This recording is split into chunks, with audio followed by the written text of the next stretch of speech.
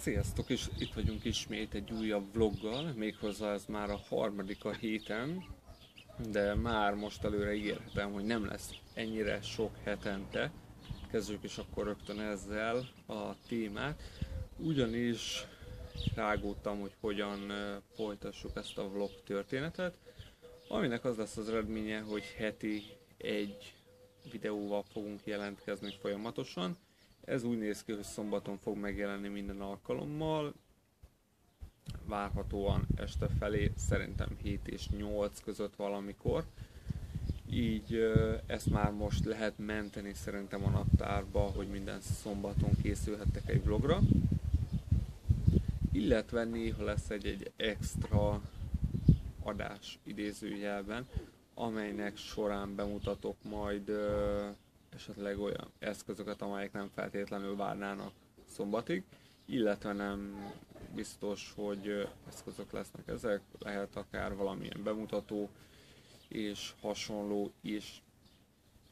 Ezen kívül a vlogot tekintve lesz interakció, például lesz olyan, ahol ti mondhatjátok majd meg azt, hogy miről vlogoljak, mit szeretnétek tudni, illetve lesz kérdez feleleki jelleggel egy olyan is adás is valamikor, amikor kifejezetten csak és kizárólag kérdésekre fogok válaszolni. Egyelőre még nem árulom el, hogy mikor, ezért is kövessetek minket hosszú távon.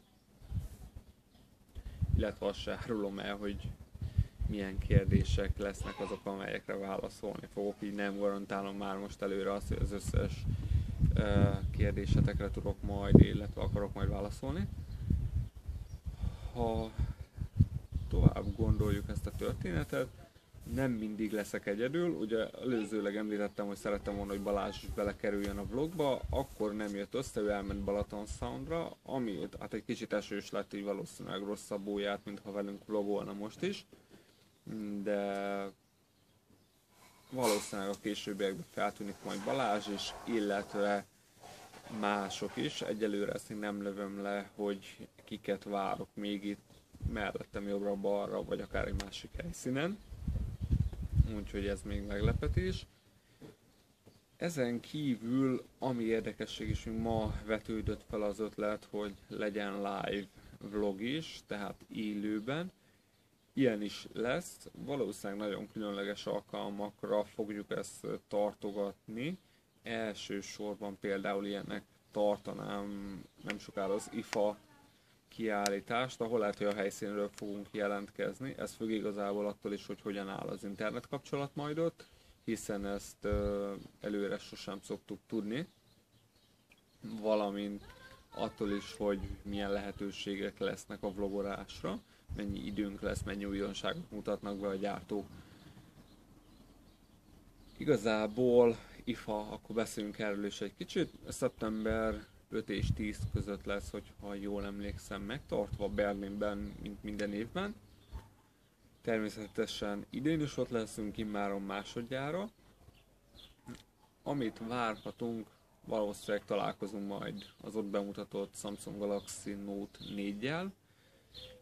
Talán bemutatkozhat a Galaxy VR, az első virtuális valóságot szimuláló headset a Samsungtól a Sony Xperia Z3 is itt debütálhat esetleg, láthatunk valószínűleg nagyon sok smartbandet, okos órát, talán egy kicsit többet is Android Wear-rel, úgyhogy ez mindenképpen érdekes lesz.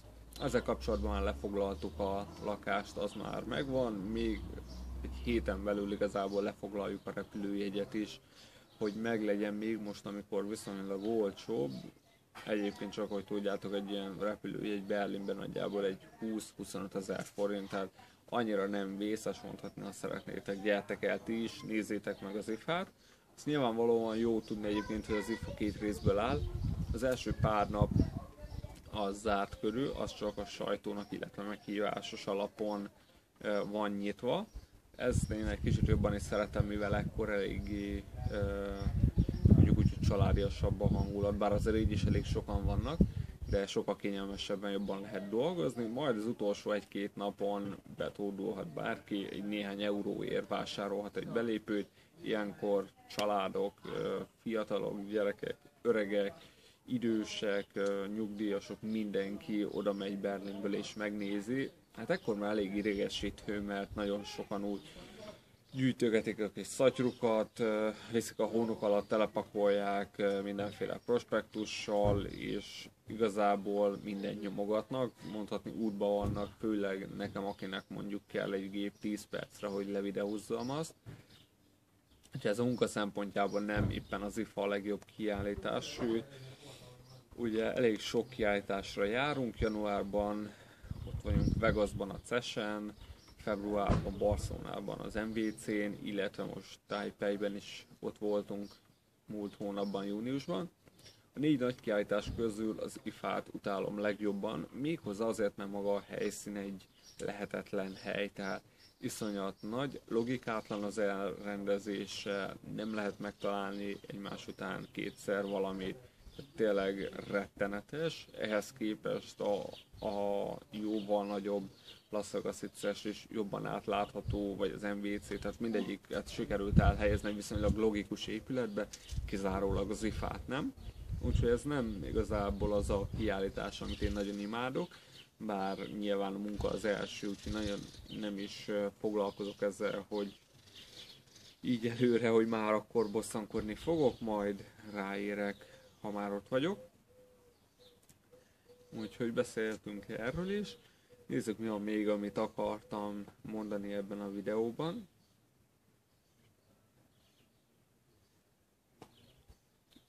Van két igazán érdekes készülékünk. Az egyikről már hallhattatok egy kicsit, ez a LG G3, az első Magyarországon is piacra kerülő Quad HD kijelzős telefon. Ezt nyúzom már most csütörtök óta. Igazából eddig tetszik, egészen kellemes. A felületet azt egyébként is szeretem, nem tudom mennyi látszik itt most a kamerában a napfény miatt, főleg úgy, hogy egyébként eléggé új lenyomatos a kijelző.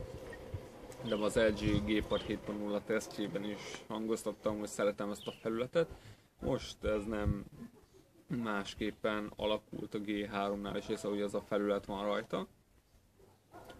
A készülékház sem annyira vészes, igazából nekem a hátlapi gombok nem tetszettek dizájnban a képek alapján, igazából a G2 jobban bejött, azonban így élőben már-már jobban megbarátkoztam vele.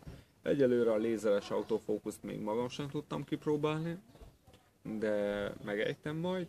A hátlap az elvileg szálcsiszolt hatású, itt kicsit olyan, mint a HTC One M8, azonban amíg az M8 teljesen alumínium borítású, addig ez műanyag, elvileg fém szálakkal, fém elemekkel vegyített műanyag. Ez kevésbé érződik egyébként a fém, egyszerűen egy picit mattított műanyagot érzek, de annyira nem rossz igazából a minőség, én el vagyok vele. Kameráját amennyire próbálgattam, abból a szempontból jól vizsgázott. Még egyelőre túl sok képet nem tudtam csinálni, de a tesztre természetesen ez is meg lesz. teljesítményt nézve igazából ez a 2 GB ramos verzió néha elfogy a RAM, ezzel számítani kellett, de igazából ugyanaz a helyzet, mint az S5-nél, hogy nagyon minimálisan érződik ez ez, kevés a memória. Nyilván egyébként jó lenne kipróbálni a 3 gigaramos verziót, az érdekesebb lehetne. Van egy másik jó kis kütyünk is, méghozzá a Xiaomi Mi Pad, ami az első MIUI tablet, az első Xiaomi tablet, illetve az első Tegra K1-et tartalmazó tablet, ez ugye az Nvidia legutóbbi grafikus chipje, 4 Cortex A15-ös maggal, illetve egy nagyon passzas sebességgel, azt kell, hogy mondjam. Ezt meg is tudom mutatni szintén, hogyha látszik. Futtattam rajta egy Antutu-t, ami igazából rekord, remélek csak, hogy látszik, 40 ezer pont feletti eredményt értünk el. Igazából még ilyen pontszámot nem láttunk itt egy készüléken sem, úgyhogy mindenképpen nagyon erőteljes eszközről beszélhetünk, de azért természetesen vannak hibái is ilyen a hátlap, ami fényes műanyag. Ez azért probléma, mert a, amíg a G3 mondjuk egyáltalán nem akar kiesni a kezemből, nem csúszik, addig ez a fényes felület nagyon csúszik. Tehát igazából folyton félek, hogy kiesik a kezemből, ami kevésbé volna jó. Úgyhogy kicsit vigyázni is kell rá, ez mindenképpen negatívum. Illetve az is, hogy azért a Tegra K1-et, hogyha meghajtom, akkor egy picit melegszik rögtön a hátlap felső része, ez is biztos, hogy mínuszként ott lesz a tesztben. Viszont a MIUI-nak a tabletes verziója az nagyon tetszik, sikerült néhány felületi elemmel felfrissíteni a rendszert itt a tabletekre, illetve e, néhány új funkció is belekerült, és abszolút pozitív meglepetés például a kijelző, ami, ami nagyon szép, illetve a két kamera, a hátlapi 8 megapixeles, illetve az előlapi 5 megapixeles, mind a kettő egészen jól szerepel Mind a két készülékről úgy tervezem, hogy a jövő héten megjelenik a teszt. Videókat már a holnapi napon láthattok talán mind a kettőről. Úgyhogy ez mindenképpen érdekes lesz. A jövő tekintve lesz Mi Pad, illetve Retina iPad mini összehasonlító, ami érdekes lesz. Készülök LG G3 VS Galaxy S5 tesztel, ami megint csak érdekes lesz ideje adós vagyok, de folyamatban van az Asus MemoPad 7, Samsung Galaxy Tab 4, illetve az LG G Pad 7.0 tesztje is. Ezek is remélem, hogy jövő héten ki tudnak menni.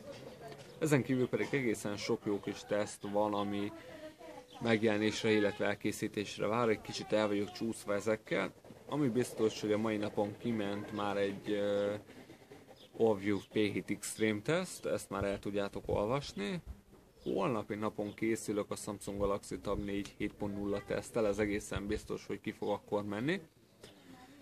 Ezen kívül ugye itt a MiPad, illetve a G3, de még van jó néhány érdekes eszköz, amiről jön teszt, lesz Xperia E1 teszt, uh, Sony Xperia Z2 tablet, illetve bejelentkezett a Sony, hogy küldeni a Z2-t is, úgyhogy erről is lesz, illetve lehet még ezzel is lesz összehasonlító teszt itt a G3-mal esőttel.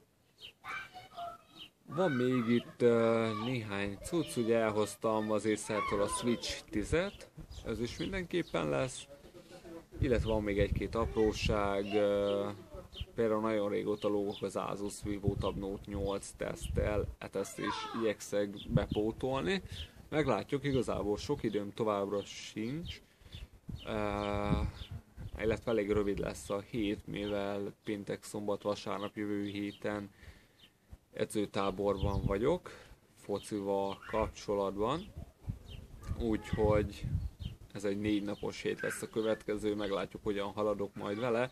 Mindezt úgy, hogy egyébként edzőtáborra is híreket kéne írni, úgyhogy elég húzós lesz valószínűleg ez a, ez a jövő hét, nem is biztos, hogy minden teszt elkészül, kikerül.